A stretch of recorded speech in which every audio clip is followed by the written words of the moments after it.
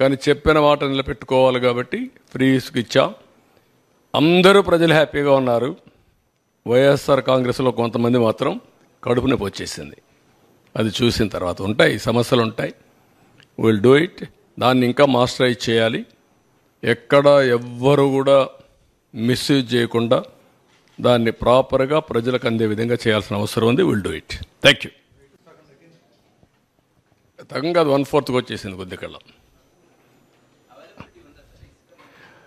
ఎంత ఒక నలభై ఎనిమిది లక్షల మెట్రిక్ టన్ల అవైలబిలిటీలో ఉందని నాకు ఇన్ఫర్మేషన్ ఇచ్చారు.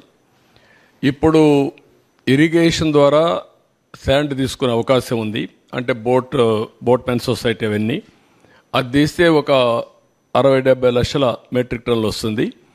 ఆ రేటుకే వాళ్ళు చేసిన రేటు సేనరైజ్ చేసి ఎక్కడ రేటు అక్కడ తీసేపోమంటున్నాం. జిల్లా అడ్మినిస్ట్రేషన్ డిసైడ్ చేసుకుంటారు. ఈ మూడు మేనేజ్ చేస్తే తర్వాత కొత్త పాలసీ వస్తుంది. మొన్న మేము హామీ ఇచ్చాం. హామీ ప్రకారం ఇమీడియట్గా ఏం చేసాం మూడు వేల రూపాయలు పెంచాం నాలుగు వేల రూపాయలు పెంచాం. మూడు వేల రూపాయల నుంచి దివ్యాంగులకు ఆరు వేలు పెంచాం.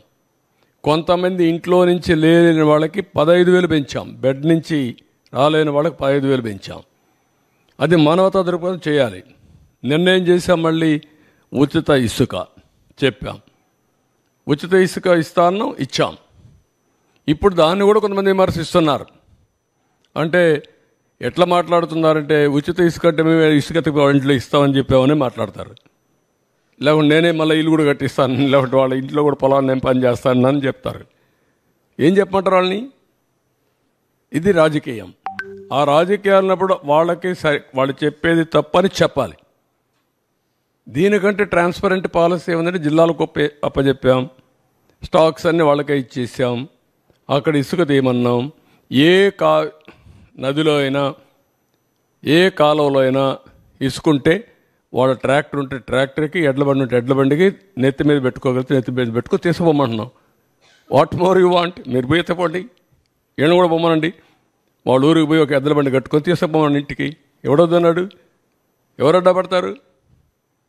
అలాంటి బుద్ధి జ్ఞానం లేకుండా చేసి వాళ్ళని ఏమనాలి? వాళ్ళని మనుషులు అనాలి ఉంటే వింత పశువులు. పశువులు కూడా ఉండవు మారిగా. ఉంటాయి ఇవన్నీ ఉంటాయి ఛాలెంజెస్